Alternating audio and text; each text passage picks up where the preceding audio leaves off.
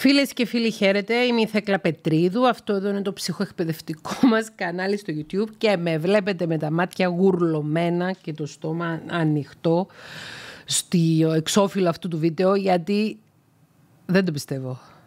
Όχι, το πιστεύω, αλλά μερικοί άνθρωποι είναι απίστευτοι. Λοιπόν, κάτω από ένα παλιότερο βίντεο, το οποίο βγήκε τον Αύγουστο του 2021, με τίτλο «Πώς απαντάω σε αδιάκριτους ανθρώπους», μία φίλη έχει γράψει το εξής ακόλουθο σχόλιο. «Καλημέρα.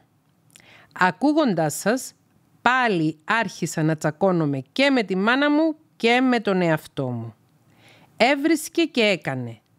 Και αν κατάφερα να τη μιλήσω, υπήρχε και παιδαγωγική ανάποδη. Ό,τι καταλαβαίνω από αυτή την, την πρόταση ε, από αυτή τη διατύπωση είναι ότι ακούγοντας τα βίντεο άρχισε πάλι να τα βάζει με τη μάνα της γιατί όταν ήταν μικρή ε, προφανώς η ίδια ήταν ευάλωτη, ήταν υποταγμένη και λόγω ηλικίας έβρισκε και έκανε λέει η μάνα της, δηλαδή της μιλούσε άσχημα ή παρενέβαινε στη ζωή της, δεν ήταν αγαπητική και αν κατάφερνα λέει, να αντιμιλήσω, υπήρχε και η παιδαγωγική ανάποδη. Η παιδαγωγική ανάποδη, φαντάζομαι, μιλάμε για τον μπάτσο, το οποίο είναι απαράδεκτο ένας γονιός να εξασκεί σωματική βία που είναι ο μπάτσος πάνω στο παιδί, αλλά επίσης είναι απαράδεκτο να εξασκεί και ψυχολογική βία, η οποία είναι λιγότερο εύκολο να εντοπιστεί, είναι πιο δυσδιάκριτη ψυχολογική βία και είναι εξαιρετικά επικίνδυνη, επίσης επικίνδυνη όπως και η σωματική βία. Και όπως πολύ καλά κάνει η φίλη, συνδέει αυτή τη σχέση της με τη μητέρα της, στην οποία δεν υπήρχε σεβασμός από τη μητέρα προς το παιδί, τη συνδέει με το γεγονός ότι η ίδια δυσκολεύεται να διαχειριστεί άγνωστους ανθρώπους ή ανθρώπους με τους οποίους δεν έχει ιδιαίτερα στενή σχέση, οι οποίοι κάνουν εξαιρετικά αδιάκριτες ερωτήσεις. Αν βρεθεί στο πρόγραμμα και στη διάθεσή σας χρόνος, κάντε μια μικρούλα εκπομπή. Πώς απαντάω σε αδιάκριτους ανθρώπους που με ρωτάνε γιατί να Έχει τέτοιους ανθρώπους πραγματικά. Και όμως έχει. Έχω συγχαθεί να το ακούω κυρίως από άσχετους ανθρώπους και δεν αντέχω που μένω με τη φάτσα ηλιθίου. Μένεις με τη φάτσα ηλιθίου και μένεις παγωμένη και έχουμε κάνει και ένα σχετικό βίντεο ε, για αυτό το ζήτημα παλιότερα με τίτλο «Γιατί παγώνω και δεν αντιδράω όταν μου φέρονται άσχημα» λόγω του ότι όταν δεχόμαστε έναν ψυχικό τραυματισμό, εάν έχουμε μαζεμένους πολλούς ψυχικούς τραυματισμούς στο υποσυνείδητό μας, εάν έχουμε κακοποιηθεί αλλεπάλληλες φορές από τους γονείς μας κυρίως ή από ανθρώπους που ήταν σημαντικοί στην παιδική μας ηλικία μπορεί να έχουμε αναπτύξει τη λεγόμενη σύνθετη διαταραχή μετατραυματικού στρες, να έχουμε δηλαδή μία συλλογή από τραύματα αποθυμένα στο υποσυνείδητό μας, τα οποία να ενεργοποιούνται με έναν πρόσφατο τραυματισμό. Δηλαδή, εάν με προσβάλλει κάποιος τώρα, χωρίς να το συνειδητοποιώ, έχω τη λεγόμενη συναισθηματική αναδρομή, emotional flashback είναι ο όρος στα αγγλικά, που σημαίνει ότι συναισθηματικά μπαίνω στη συνθήκη εκείνη την πολύ δύσκολη, την αδιαχείριστη που ήμουνα όταν ήμουνα νεότερη, μικρότερη, νεότερος, μικρότερος και δεχόμουν αρχικά την κακοποίηση. Ξυπνούν τα τραύματα μου δηλαδή και αυτό προκαλεί συναισθηματική απορρίθμιση. Μπορείς να μπεις ε, στο playlist με το podcast ε, που έχουμε εδώ στο κανάλι και στην πρώτη σεζόν του podcast είχαμε κάνει βίντεο για τη σύνθετη διαταραχή μετατραυματικού στρες. Είχαμε κάνει και βίντεο επεισόδιο για το τραύμα και σε διάφορα άλλα επεισόδια, όπως επίσης και στο επεισόδιο για το reactive abuse, για την αντιδραστική βιότητα, αναφερόμαστε σε αυτούς τους μηχανισμούς α, των αδιαχείριστων τραυμάτων, τα οποία βρίσκονται στο υποσυνείδητο και αποκτούν ζωή από μόνα τους και μας σαμποτάρουν. Ένας τρόπος να μας σαμποτάρουν τα αδιαχείριστα τραύματα από το παρελθόν είναι όταν δεχθούμε μία προσβολή στο παρόν, η οποία προσβολή συνιστά ψυχικό τραύμα, να παγώνουμε. Γιατί; Κάνουμε μια μνημονική συναισθηματική αναδρομή. Δεν θυμόμαστε τα περιστατικά που γινόντουσαν όταν είχαμε πρώτο τραυματιστεί, αλλά θυμόμαστε τα συναισθήματα που βιώσαμε και έτσι απορριθμιζόμαστε και δεν μπορούμε να απαντήσουμε με τρόπους που στη συνέχεια, δηλαδή μία ώρα μετά, πέντε λεπτά μετά, δέκα λεπτά μετά, μπορεί να πεις «Αχ, θα μπορούσα να του πω αυτό, να της πω αυτό». Αλλά εκείνη την ώρα παγώνεις, μου διάζεις και δεν ξέρεις πώς να αντιδράσεις. Όπως είπε η φίλη προηγουμένως, έχω συγχαθεί να το ακούω κυρίως από άσχετους ανθρώπους και δεν αντέχω που μένω με τη φάτσα του ηλίθιου. Και όταν λέω άσχετους, εννοώ για παράδειγμα κάποιον που μένει τρεις πολυκατοικίες παρακάτω και επειδή έχουμε ξαναμιλήσει και με είδε στο δρόμο, έπρεπε να ρωτήσει αυτό.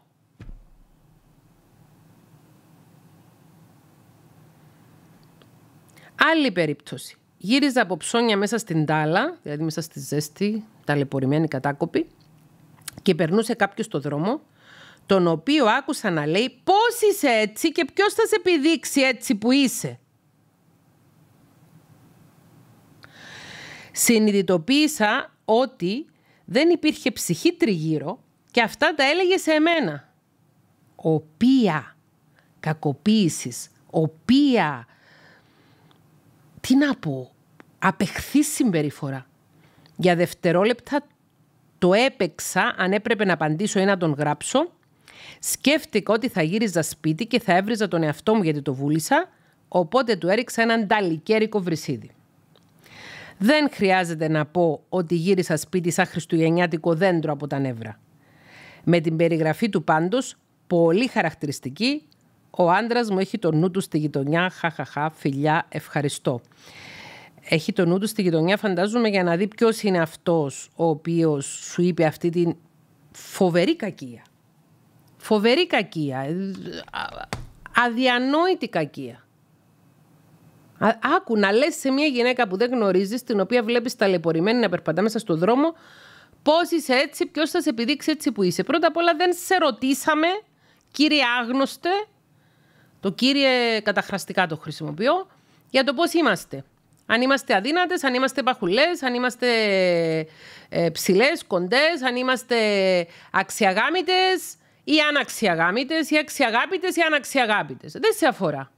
Δεν σε αφορά. Εάν, ένα λεπτό, εάν έρθω εγώ στον δρόμο, μία άγνωστη και σου πω θέλεις να με γαμίσεις, τότε δικαιούσε να μου πεις όχι δεν θέλω να σε γαμίσω επειδή δεν μ' αρέσει η εμφάνισή σου.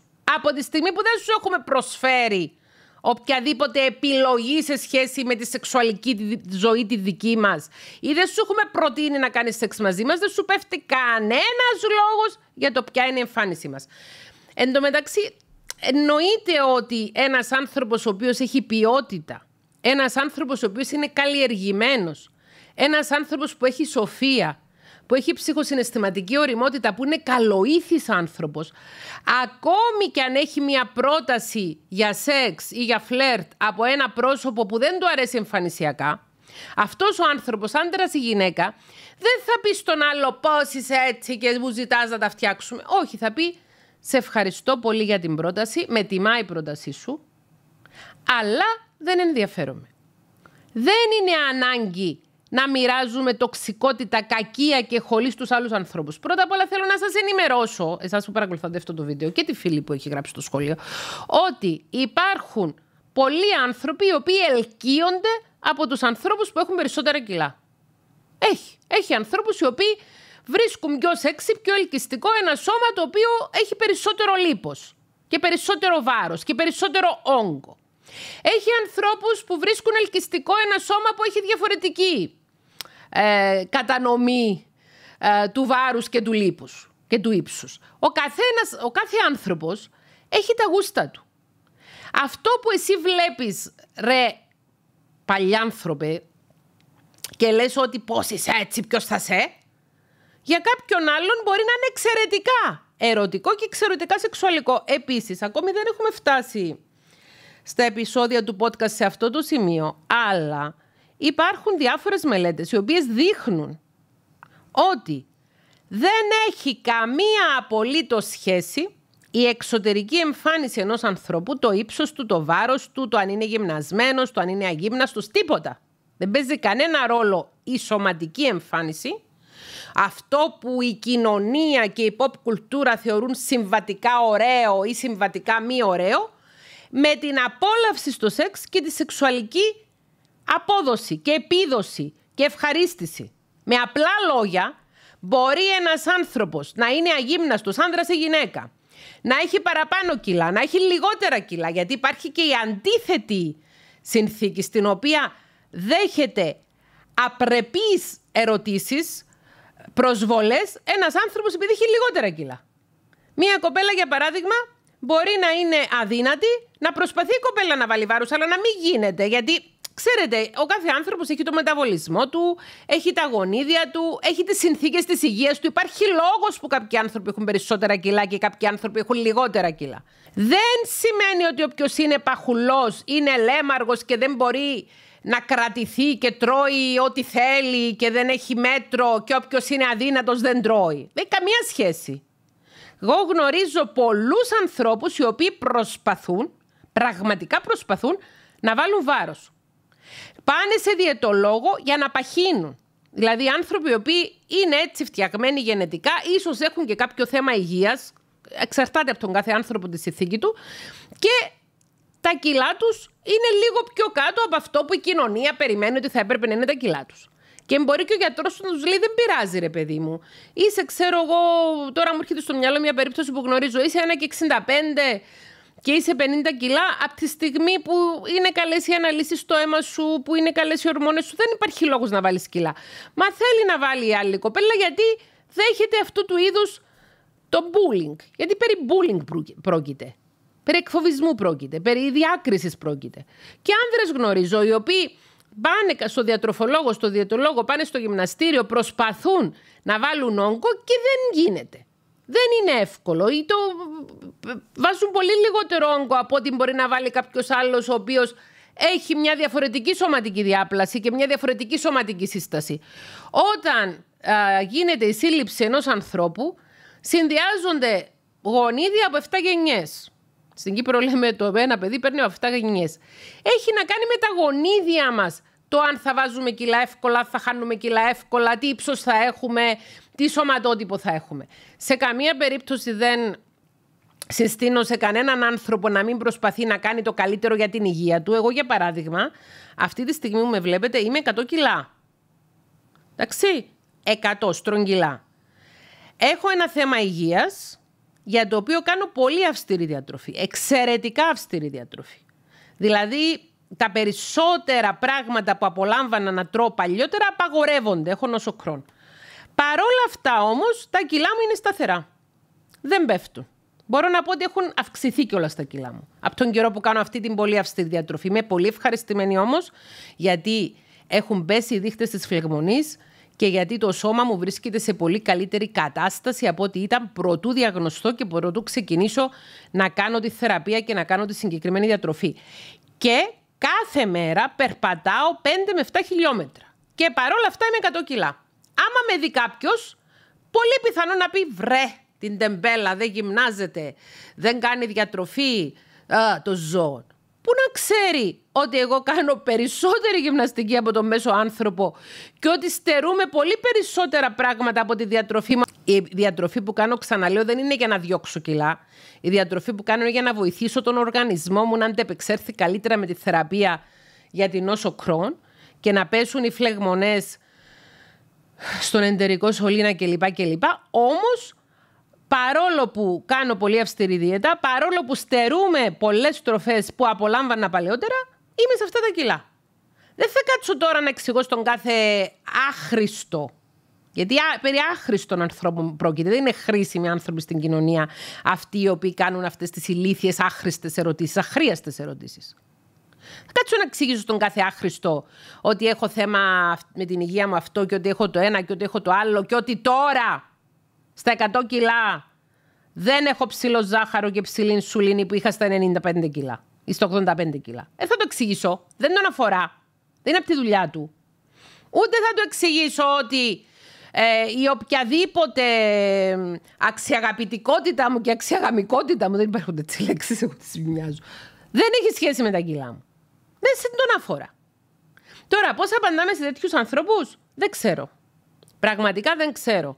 Γιατί, πρώτα απ' όλα, έχει να κάνει με τη δική μας ψυχοσυναισθηματική συνθήκη και κατάσταση. Δηλαδή, αν είναι να τον βρίσω και μετά εγώ να είμαι χάλια, ίσως να μην το βρίσω. Εάν είναι να μην τον βρίσω και μετά να με χαλιά, ίσως να τον βρίσω. Καταλάβατε τι εννοώ; Δηλαδή, ε, αυτό που πρέπει να μας ενδιαφέρει πρωτίστως στον καθένα από εμάς είναι πώς θα βοηθήσουμε το δικό μας εαυτό, τη δική μας ψυχή να είμαστε καλά. Άρα κάνουμε ό,τι είναι πιο χρήσιμο για μας. Σε περίπτωση που μου διάζουμε και δεν μπορούμε να απαντήσουμε κάτι στον ανεδί και σχρό άχρηστο άνθρωπο μας κάνει αυτές τις παλαβές ερωτήσεις, να μην τα βάζουμε με τον εαυτό μας μετά. Να δείξουμε καλοσύνη στον εαυτό μας, να δείξουμε αυτοσυμπόνια και αυτοαγάπη και να πούμε δεν πειράζει, δεν τα κατάφερες να απαντήσεις. Εσύ ξέρεις όμως μέσα σου την αξία σου, ξέρεις ότι τα πάνω ή τα κάτω κιλά ή το οποιοδήποτε άλλο. Κάποιος μπορεί να έχει ρε παιδί μου στο δέρμα του κάποιες αλλοιώσεις. Μπορεί να έχει μια δερματική πάθηση και να τον κορυδέψουν για αυτή. Κάποιος μπορεί. Οτιδήποτε. Ξέρεις ότι αυτό δεν είναι η αξία σου. Ξέρεις ότι αυτός ο άνθρωπος ο οποίος σου έχει πει αυτό το αγενές ερώτημα, σου έχει κάνει αυτό το αγενές σχόλιο, έχει δείξει τη δικιά του κακοήθεια και να δούμε και μιας. Και αυτό δεν είναι για παρηγορία, είναι αλήθεια ότι αυτός ο άνθρωπος ο οποίος κάνει αυτά τα σχόλια είναι ένας εξαιρετικά κενός, άδειος, όχι κενός με αρφαγιώτα, με ε, ένας άδειος άνθρωπος. Έχει μια μαύρη ψυχή και είναι ένα τέρας. Εγώ προσωπικά λυπάμαι πάρα πολύ για τους οικείους αυτών των ανθρώπων να δούμε, πάντα σκέφτομαι να δούμε τι θα λέει στα παιδιά του αν έχει αυτός ο άνθρωπος, τι θα λέει στη γυναίκα του αν έχει, στον άντρα της αν έχει. Αυτό σκέφτομαι. Πόσο θα υποφέρουν οι άνθρωποι οι οποίοι βρίσκονται πραγματικά στη ζωή αυτού του ανθρώπου. Αν έχει την ανάγκη να βγάζει τόσο όξος και χολή πάνω σε αγνώστους, σκεφτείτε τι κάνει στους γνωστούς. Λοιπόν, Επίσης, όταν αποκρινόμαστε ή αντιδρούμε σε τέτοιου είδους σχόλια, πρέπει να έχουμε πάντοτε υπόψη μας και την τυχόν επικινδυνότητα του οποιοδήποτε αδιάγνωστο έχει βρεθεί στο δρόμο μας. Δεν ξέρουμε αν αυτός ο άνθρωπος που μας κάνει αυτό το σχόλιο έχει τυχόν κοινωνιοπάθεια ή ψυχοπαθητική προσωπικότητα και αν μπορεί να γίνει και σωματικά βίαιος εκτός από λεκτικά βίαιος αν το απαντήσουμε κάτω όπως πρέπει. Ε, η περίπτωση που ήσουν στο δρόμο και δεν υπήρχε ψυχή θα μπορούσε να βιοπραγήσει. Δεν ξέρω. Δεν σου θυμώνω. Σε καταλαβαίνω απόλυτα που έβριζες σανταλικέρης. Απόλυτα σε καταλαβαίνω. Ε, ίσως και εγώ στη θέση σου να έβριζα. Ίσως. Δεν μπορώ να ξέρω. Ίσως να έλεγα ευγενέστατος κύριος. Τελευταίος πρόσφατα, πρόσφατα τελευταίος, έτυχε πρόσφατα να είμαι κάπου και να είναι ένας άνθρωπος εξαιρετικά αγενής. Δεν ήταν παρόμοια συνθήκη όπως αυτήν. Είχα πάει σε ένα πολύ deluxe ε, ξενοδοχείο, resort, για να παραλάβω μια φίλη μου για να πάμε για φαγητό ε, και που είχε έρθει από το εξωτερικό και εγώ πήγα, εγώ οδηγώ ένα αυτοκίνητο το οποίο είναι, σας είπα, το αυτοκίνητό μου το αγόρασα το 2007. Άρα δεν είναι καινούριο το αυτοκίνητό μου και ούτε είναι, δεν δείχνει πλούτο και class, δεν δείχνει ότι είμαι posh, ότι είμαι κυριλέ και χαϊκλέ. Γιατί εμένα με ενδιαφέρει πάρα πολύ το αυτοκίνητο να κάνει τη δουλειά του, δεν με ενδιαφέρει πώς μοιάζει. Λοιπόν, και πήγα και στάθμευσα στο χώρο, είχε μια τεράστια είσοδο αυτό το resort στη Λεμεσό Πήγα και στάθμευσα εκεί πέρα και η κοπέλα ερχόταν προς το μέρος μου και έρχεται αυτός έτσι. Φύγε από εδώ, φύγε από εδώ, δεν είναι χώρος για σένα εδώ, φύγε από εδώ, φύγε από εδώ.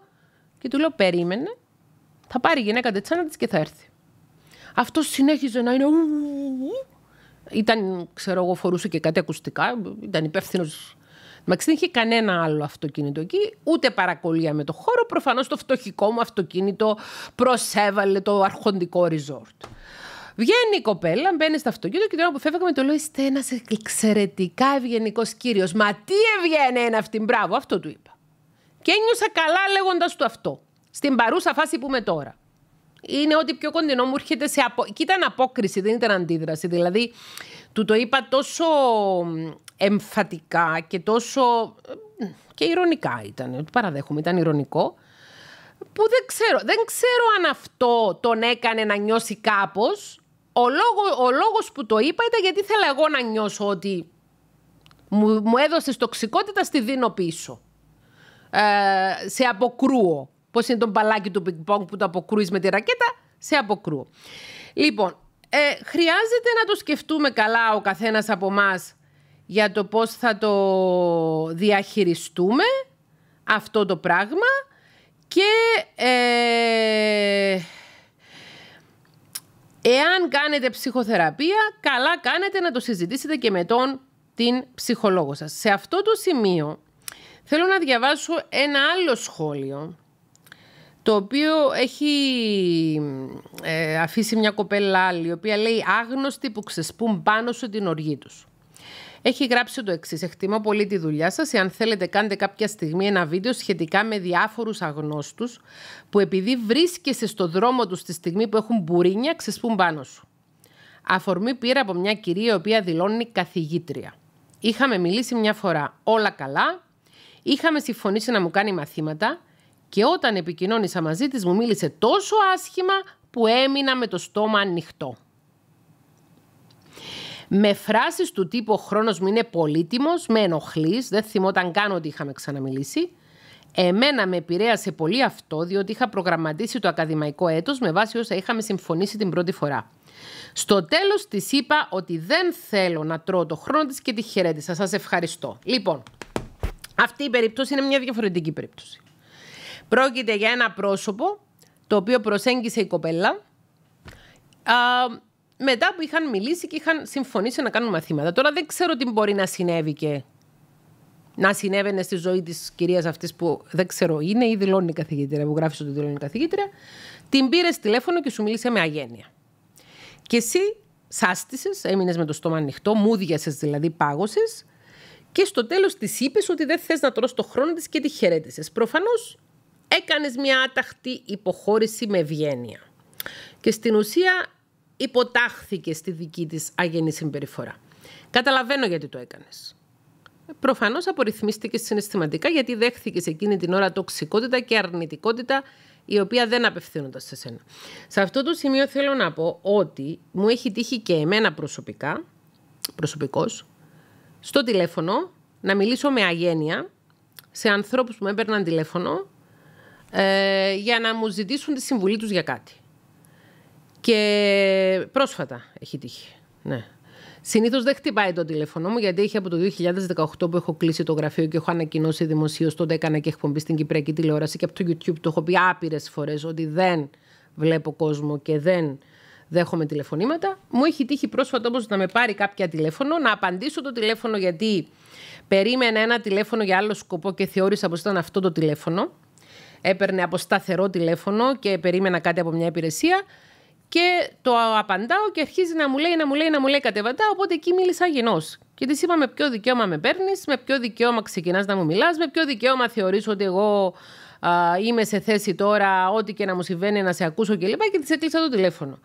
Ε, εάν αυτή η γυναίκα έπαιρνε από κινητό τηλέφωνο και μου έγραφε μετά μήνυμα να μου δώσει ανατροφοδότηση και μου έλεγε δεν μπορούσε να μου γράψει μήνυμα γιατί έπαιρνε από σταθερό τηλέφωνο. Και ο λόγος που τα απάντησε ήταν γιατί ήταν από σταθερό τηλέφωνο. Ε, Άγνωστους αριθμούς δεν τους απαντάω. Απαντάω με ένα μήνυμα που έχω έτσι προσαρμοσμένο που λέω Γεια σας, είμαι η Τάδε, με πήρατε τηλέφωνο, δεν μπορώ να μιλήσω στο τηλέφωνο. Η αλήθεια είναι ότι δεν μπορώ να μιλήσω στο τηλέφωνο. Και ε, εάν θέλετε κάτι, γράψτε μου σε μήνυμα. Έχετε υπόψη σας όμως ότι δεν βλέπω κόσμο. Το ξεκαθαρίζω και γραπτός. Λοιπόν, αν όμως η γυναίκα αυτή μου έστελνε μήνυμα και μου έλεγε σε πήρα τηλέφωνο προηγουμένως και μου μίλησες απότομα και μου μίλησες αγενός και τώρα είμαι στενοχωρημένη και έχω μείνει εννοή. Θα τη έγραφα συγγνώμη. Θα τη έλεγα απολογούμε που σου μίλησα απότομα. Δεν φταίει εσύ που εγώ αυτή τη στιγμή έχω θυμό. Γιατί όντως κάποιες φορές μπορεί να έχουμε θυμό γιατί συμβαίνει κάτι άλλο εκείνη την ώρα. Γιατί είμαστε ψυχοπιεσμένοι από αλλού. Όταν συνέβη και αυτό που σας λέω, όντως περίμενα ένα τηλέφωνο από μια υπηρεσία και είχα αγωνία για κάτι που είχε σχέση με την υγεία ενός από τα παιδιά μου. Είχα ένταση μέσα μου, είχα αγωνία, οπότε απάντησα κατευθείαν το τηλέφωνο και περίμενα να ακούσω τα αποτελέσματα. Ευτυχώς βγήκαν και είναι καλά. Περίμενα να ακούσω τα αποτελέσματα και αντί τα αποτελέσματα ήταν μια κυρία η οποία μου έλεγε την ιστορία της. Ενώ δεν γνωριζόμαστε, ενώ δεν έχουμε δώσει ποτέ. Και η, η αν μου έλεγε, ξέρεις, είχαμε μιλήσει στο παρελθόν, είχαμε μιλήσει πριν 7 χρόνια, πριν 8 χρόνια και την προηγούμενη φορά που μιλήσαμε μου απάντησες και τώρα μου έκανες σαν να μην με ξέρεις, θα σε έλεγα. Δεν σε θυμάμαι. Ε, απολογούμε που μίλησα απότομα. Είναι αλήθεια ότι δεν μιλάω πλέον στο τηλέφωνο, αλλά συγγνώμη που βρέθηκες εσύ μπροστά μου εκείνη την ώρα και έγινες αποδέχτης της έντασης μου. Ε, δηλαδή, με απλά λόγια, συστήνω στην κοπέλα αυτή να στείλει ένα μήνυμα σε αυτή τη γυναίκα και να της εξηγήσει ότι εμείς είχαμε μιλήσει, εμείς είχαμε εξηγηθεί και παρόλα αυτά εσύ μου μίλησες πάρα πολύ άσχημα και με στενοχώρησες. Καλά κάνει να το κάνει αυτό το πράγμα. Εντάξει. Δίνουμε ανατροφοδότηση. Δεν σου λέω να της στείλεις αυτό το μήνυμα και μετά να γίνετε και κολλητές και να πας να κάνεις και το μάθημα, αλλά να δώσεις μια ανατροφοδότηση να ξέρει και αυτή ότι η συμπεριφορά της έχει στενοχωρήσει έναν άνθρωπο, έχει απογοητεύσει έναν άνθρωπο και να δεις κιόλας, ενδιαφέρον να δεις, αν έχει ενσυναίσθηση και φιλότιμο και να απολογηθεί. Αυτά σε αυτό το βίντεο. Ε, είμαι σίγουρη ότι περισσότεροι από εμάς ταυτιζόμαστε και είμαι σίγουρη ότι δεν περιμένατε να ταυτιστώ με την καθηγήτρια που βάλε τις φορές στην παθήτρια. Φιλιά.